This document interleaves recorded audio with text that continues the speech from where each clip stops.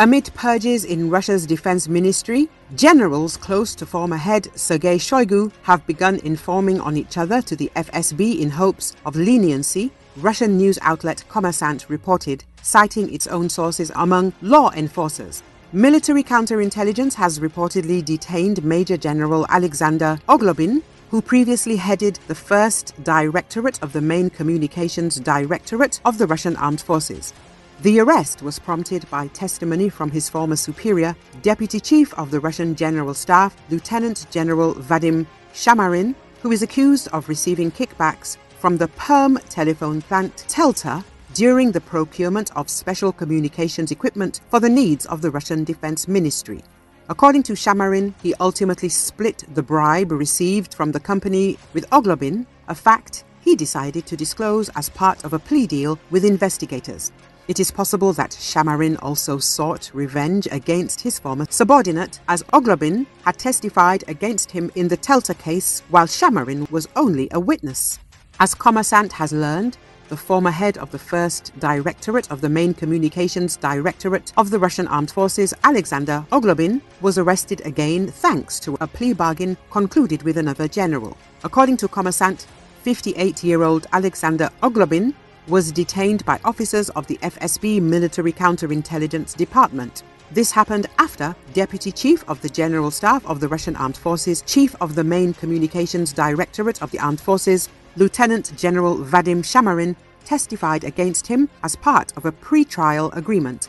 According to the main military investigative department of the Investigative Committee of the Russian Federation, from April 2016 to October 2023, the latter received bribes in the amount of at least 36 million rubles from the CEO of Perm telephone plant Telta, OJSC, Alexei Vysakov, and the plant's chief accountant, Elena Grishina, for actions within his authority aimed at increasing the volume and range of products of Perm telephone plant Telta, OJSC, as well as for general patronage in the service.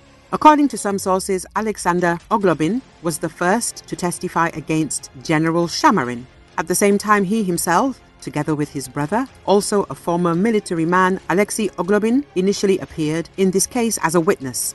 However, Alexander was exposed as an intermediary in the transfer of bribes to his boss, while his relative, according to Kommersant, remained a witness. Although Shoigu's name has not yet appeared in the corruption cases against Russian generals, it is possible that someone among them will eventually implicate him.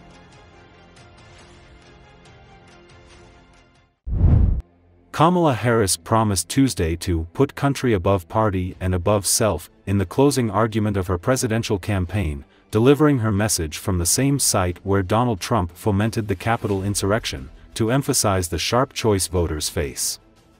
One week out from Election Day, the vice president used the address from the grassy ellipse near the White House to pledge to Americans that she would work to improve their lives while arguing that her Republican opponent is only in it for himself. Unlike Donald Trump, I don't believe people who disagree with me are the enemy, Harris said. He wants to put them in jail. I'll give them a seat at my table. And I pledge to be a president for all Americans. To always put country above party and above self. The vice president also pledged to restore the abortion rights that were overturned by the Supreme Court in 2022. I will fight to restore what Donald Trump and his hand-selected Supreme Court justice took away from the women of America, Harris said. The Supreme Court, with three Trump appointees justices, overturned federal protections of abortion in 2022. Abortion has since become one of the most motivating issues for the Democratic base in the 2024 election.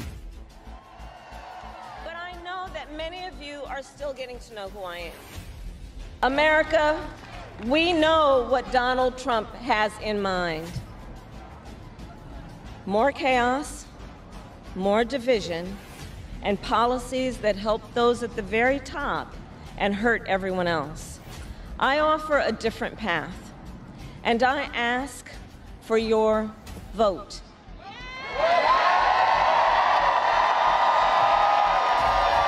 And here is my pledge to you. I pledge to seek common ground and common sense solutions to make your life better. I am not looking to score political points. I am looking to make progress. I pledge to listen to experts, to those who will be impacted by the decisions I make, and to people who disagree with me. Unlike Donald Trump, I don't believe people who disagree with me are the enemy. He wants to put them in jail. I'll give them a seat at the table.